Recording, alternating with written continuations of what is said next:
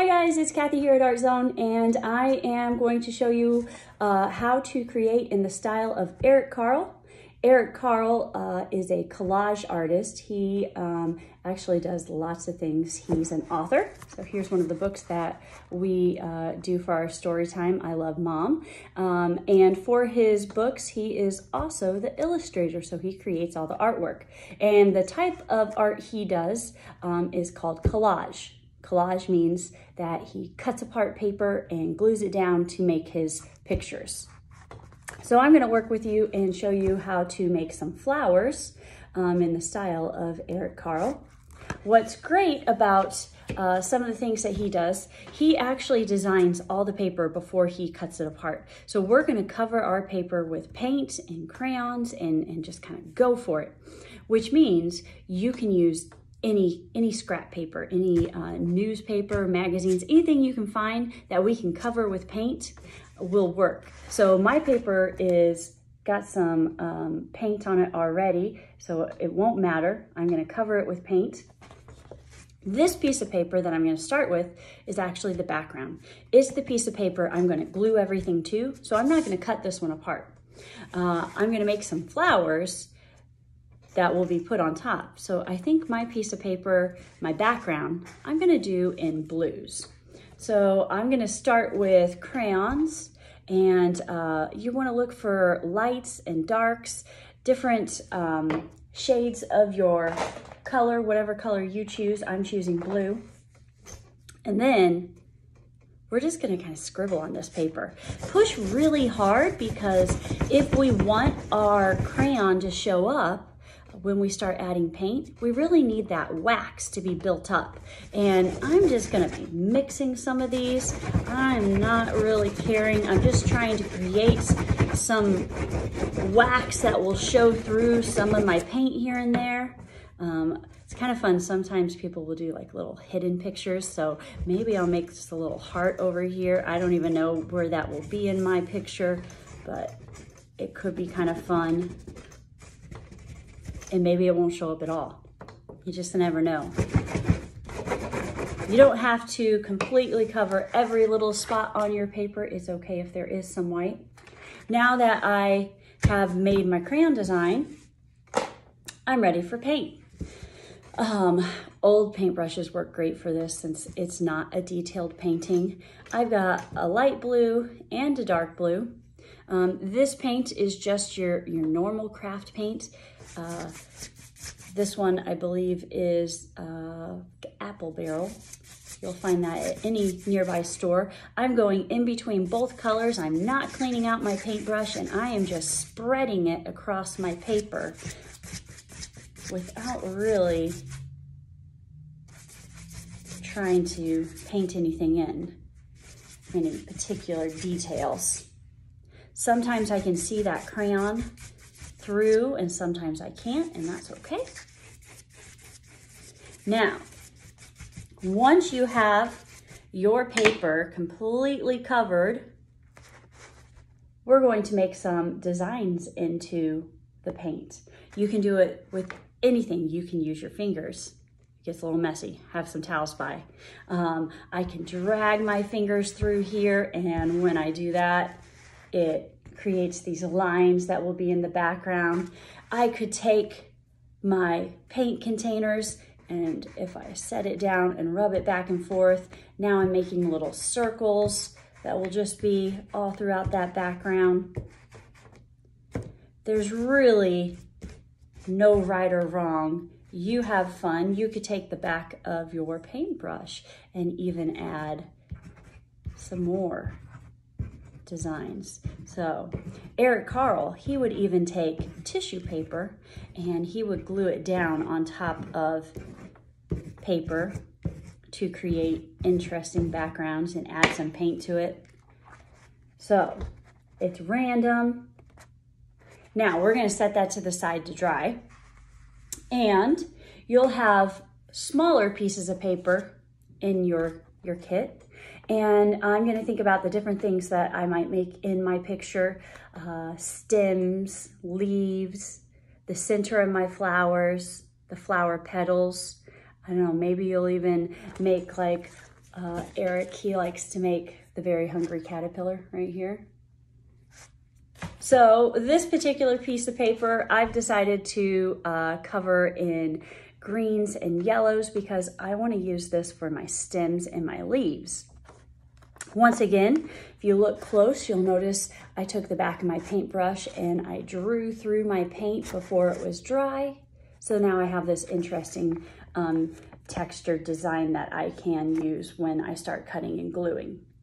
I also took another piece of paper and I made it uh, the hot colors, red, yellow, orange. I'm gonna use this for the center of my flowers. Once again, I drew through that paint.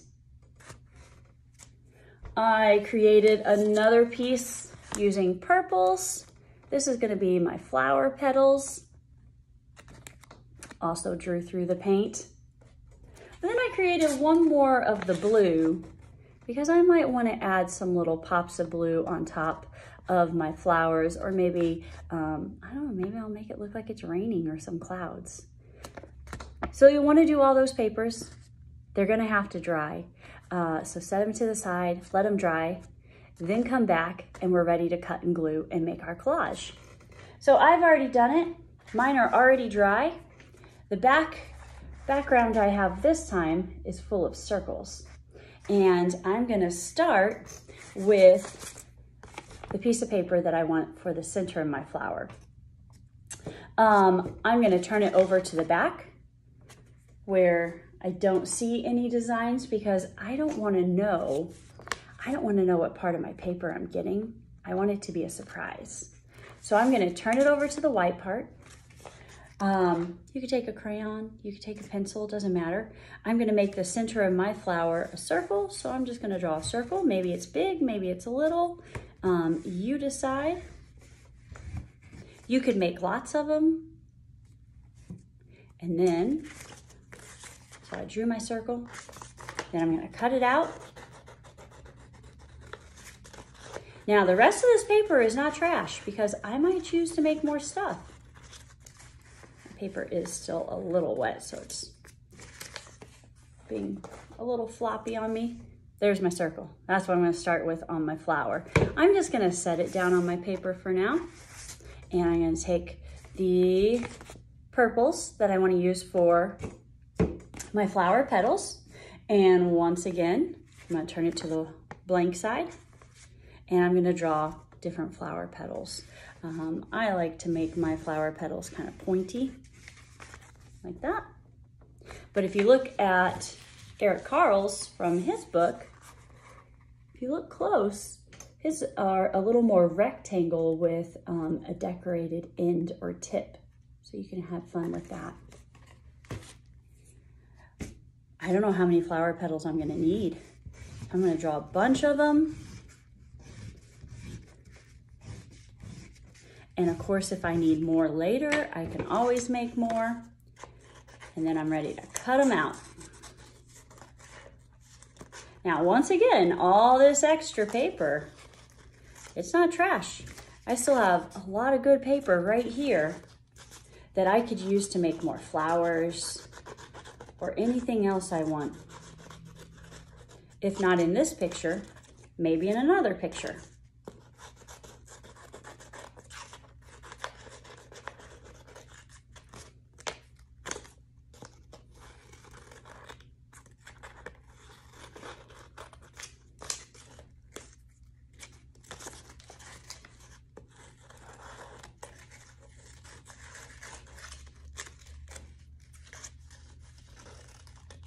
They don't need to be perfect. But look at all this paper I still have left that I can make things out of. So I've got a few flower petals. I didn't make many. You can make a whole lot more. And I also want a stem for my flower, which really, for this flower, I think I'm just gonna keep it as um, a straight stem, which means I'm just gonna cut my green paper into some lines I'm gonna cut a few lines so that I have some choice into uh, which one I actually use for my stem because this was the edge of the paper. You see it doesn't have much color to it. And then if I went a little further in, it's got all this great design to it that I could use. If I wanna make some leaves, of course I can. Once again, I'd flip that green paper over and then you decide what kind of flower uh, leaf you want, if it's big or little. Maybe you have multiple.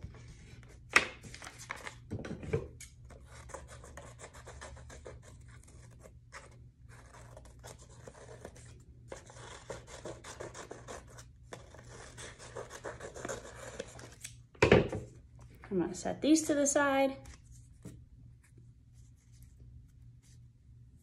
And then I'm gonna go to that blue paper. I'm actually gonna make more flower petals using this blue paper first. Maybe I'll use it to do other things too, but I think I might combine my purple and my blue. I'm gonna make some really small ones too.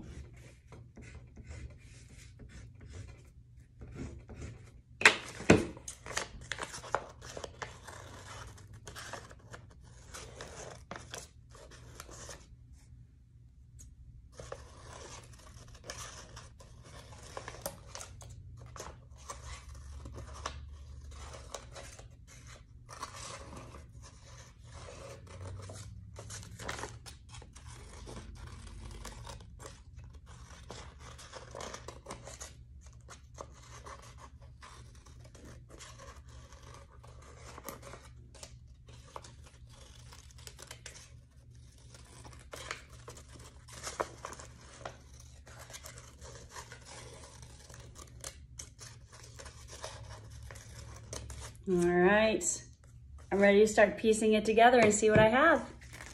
So I'm gonna take, oh no, I lost my circle. There it is.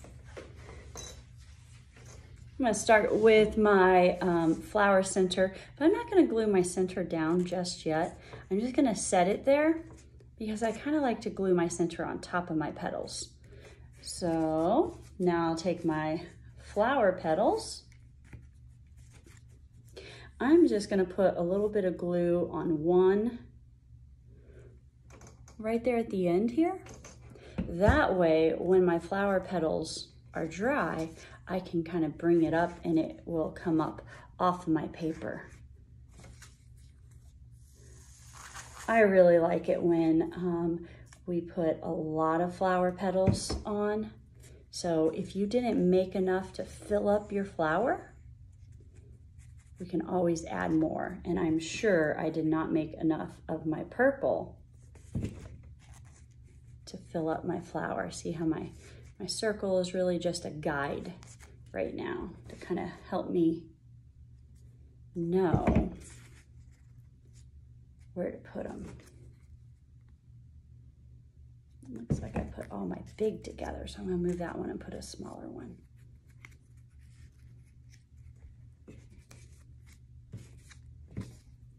I think I'm gonna need just a few more of the purple before I go on. I'm grab that purple paper, paper and draw some more out.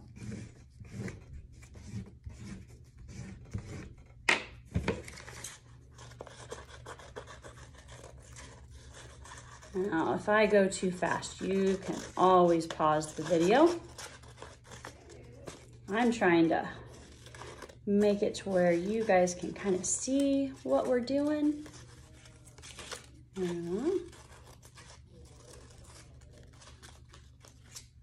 this petal here.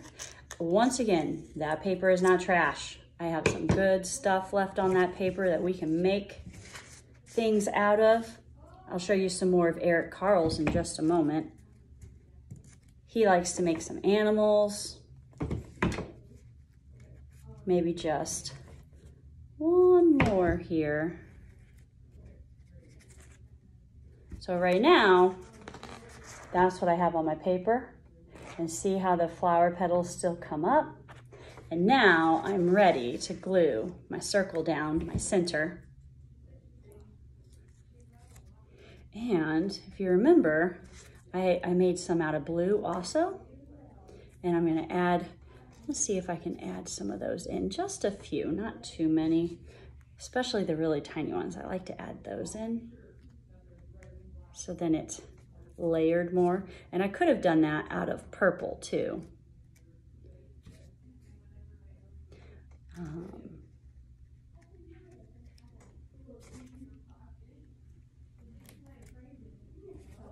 and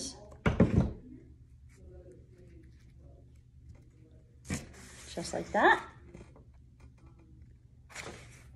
And now I'm ready to add that flower stem. Let's put just a few dots, not a lot. And I add my flower petals. Now, there's so much more you can do here. You've got all that space. Maybe uh, you'll make a vase or a ground or a sky.